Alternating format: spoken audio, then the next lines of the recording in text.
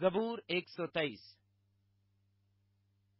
تو جو آسمان پر تخت نشین ہے، میں اپنی آنکھیں تیری طرف اٹھاتا ہوں۔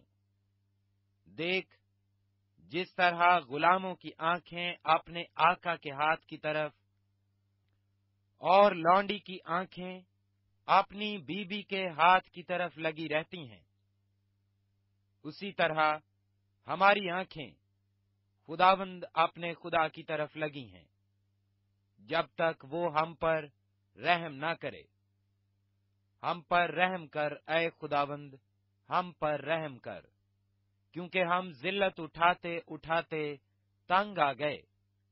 اسودہ حالوں کے تمسخر اور مغروروں کی حکارت سے ہماری جان سیر ہو گئی۔